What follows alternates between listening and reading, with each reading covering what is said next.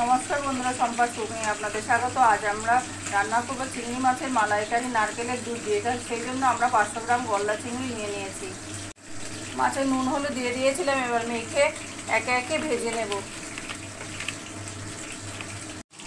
কড়াইটা আমাদের গরম হয়ে গেছে, এবার মাছগুলো দিয়ে একে একে ভেজে নেব।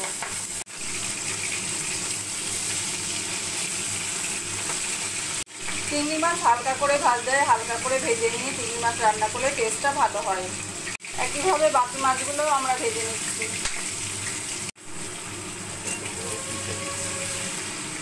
মাছগুলো আমাদের ভাজা হয়ে গেছে, তুলে রাখব এবার।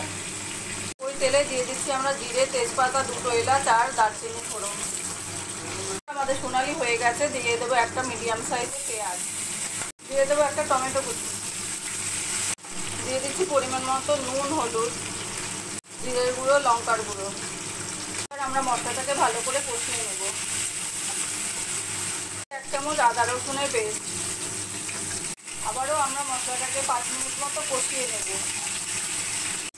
মশলাটা আমাদের কষানো বেশ ভাজা ভাজা হয়ে গেছে। এবার দিয়ে দেবো হাফ কাপ মতো নারকেলের দুধ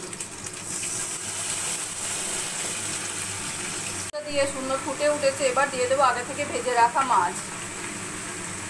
মাছটা দিয়েও আমরা দশ মিনিট মতো ফুটতে দেবো লো ফ্লেমে